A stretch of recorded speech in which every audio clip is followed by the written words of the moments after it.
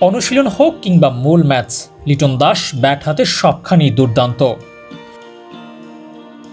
নিজের জোনে বল পেলেই বাউন্ডারি, রক্ষে নেই। বড় শট খেলাটাকে গত কয়েক বছরে অভ্যাসে পরিণত করে ফেলেছেন এই টাইগার ওপেনার। লিটনের কাছে বাউন্ডারি হাঁকানো এখন যেন অনেকটাই পানি হাতের মোয়া। লিটন নিজের দিনে কতটা ভয়ঙ্কর হতে পারেন তার ছোট্ট একটা প্রমাণ গতকালই দেখেছে টিম ইন্ডিয়া। শুধু যে টি টোয়েন্টি বিশ্বকাপের এই ম্যাচে লিটনের ভয়ঙ্কর রূপের মোকাবেলা করেছে রোহিতরা, তা কিন্তু নয়। ওয়ানডেতেও একবার লিটন দিয়েছিলেন দম আটকে। সেই লিটনের ব্যাটিংয়ে মুগ্ধ ভারত দল। ভারতীয় গণমাধ্যমেও এখন লিটন বন্দনা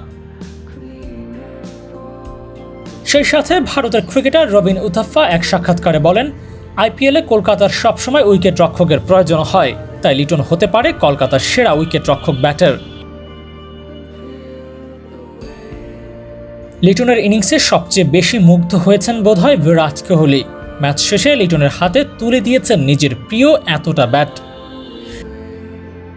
যে ব্যাট দিয়ে আগামীতে খেলতে দেখা যেতে পারে টাইগার ওপেনারকে। টি টোয়েন্টি বিশ্বকাপ থেকে টাইগাররা বিদায় নেবার পথে বড় কোনো অঘটন না ঘটলে সেমিফাইনালও যেতে পারে টিম টাইগার্স। সেক্ষেত্রে অবশ্য পাকিস্তানের বিপক্ষে জয়ের নেই কোনো বিকল্প।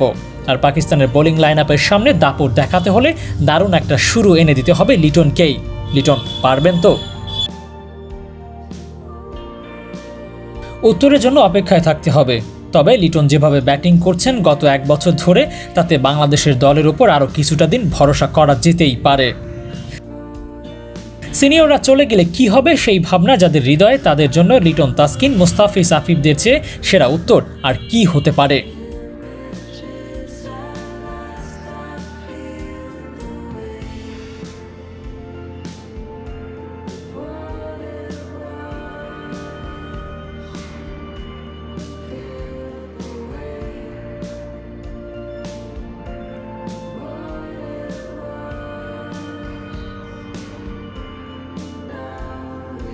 Abu Naim sports and news